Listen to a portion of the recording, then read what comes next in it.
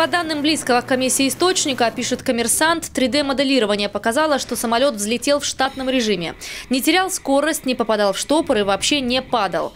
Примерно через минуту после отрыва от земли он набрал высоту около 250 метров и скорость 360-370 км в час. А сразу после этого на борту стала стремительно развиваться нештатная ситуация.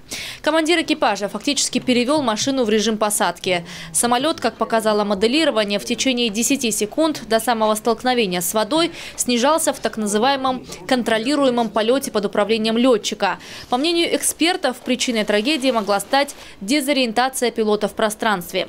В Минобороны изучают медкарту погибшего пилота и результаты прохождения им психологических тестов, опрашивают инструкторов, учивших майора летать, а также выясняют, правильно ли был организован отдых экипажа перед рейсом.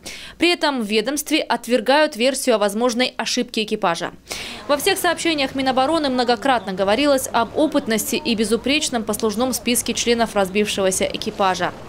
Напомню, самолет Ту-154 25 декабря пропал с радаров после вылета из Сочи. На его борту находились артисты ансамбля имени Александрова, руководитель коллектива Валерий Халилов, журналисты и общественный деятель Елизавета Глинка, она же доктор Лиза. Всего 92 человека.